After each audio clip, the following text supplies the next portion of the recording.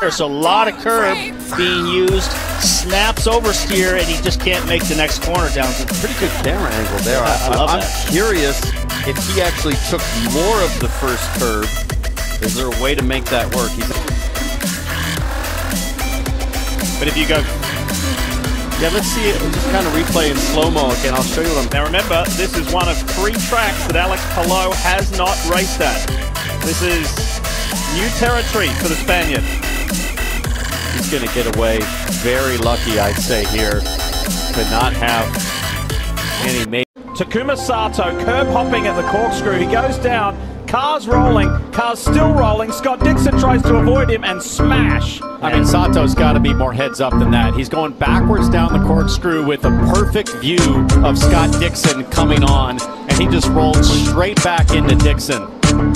That's, I mean, if I'm Dixon, I'm furious right now, and that's not the first time that Sato's taken out Dixon. He got Sato. Big time. This is what it looked like. Stay right. Joseph Stay right.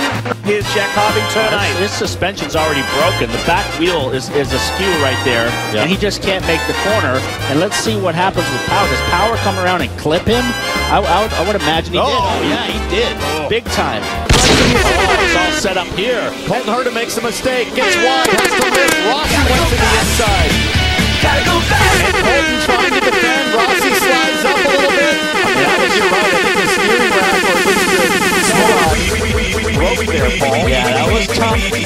No, hard-nosed racing there. I mean, they were side by side.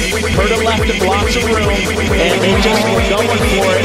And you can see Rossi's, he's in a drift. He's, the rear is sliding, and he's opposite lock trying to hang on to it.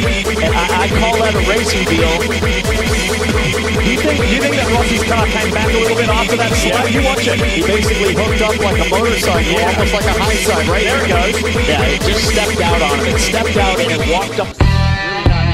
Look at Palou here, right behind. He's the, the next car in line. He sees the accident and he gets contact from two different cars. So we have to watch that front wing. Could be damaged on Palou's car as well. On board with O'Ward. Listen.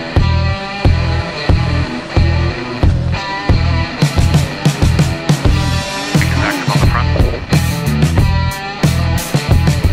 Got hit! On the hairpin. Yeah, on the hairpin. No, no, no, no, Harper Bryant is the right side. I, I'm not sure if there's a All right.